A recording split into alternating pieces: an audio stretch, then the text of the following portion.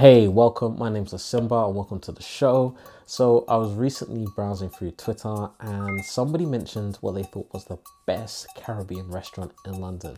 Now, if you're saying something is the best, you're setting a pretty high bar.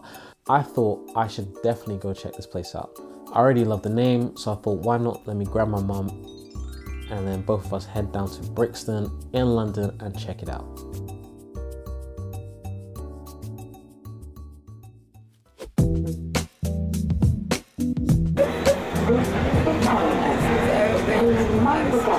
I'm sure they will do. Fish wings and tings. Fish wings and things. Might have some dumpling. I can't remember what's on the menu. Stand clear of the door. Roast breadfruit. Maybe. I'm not. I'm not sure. It would be nice if they did.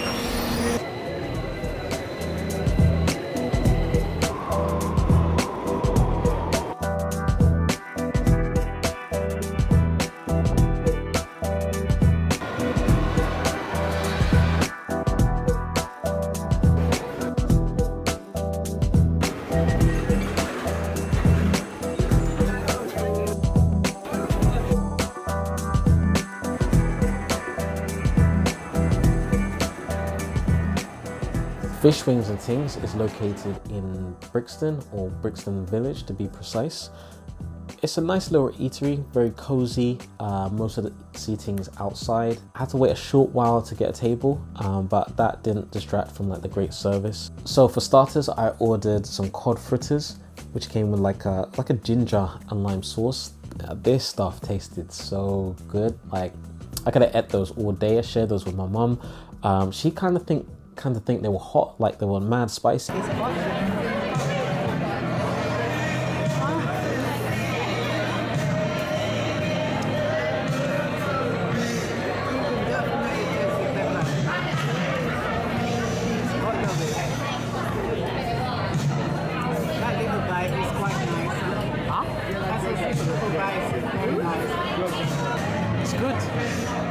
Personally, I didn't taste the pepper, um, but yeah, it, it tasted fresh. It tasted delicious. It wasn't too oily.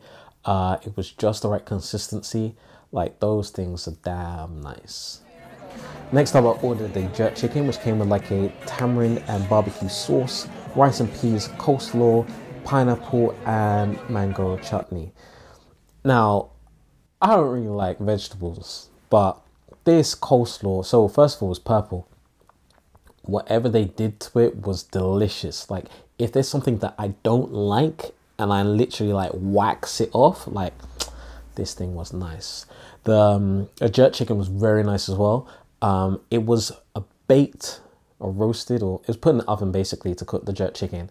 Um, it didn't have that barbecue grill kind of taste, but it was still very, very, very delicious. My mum ordered the curry mutton, which also came with like some rice and peas, coleslaw, um, pineapple, and mango chutney.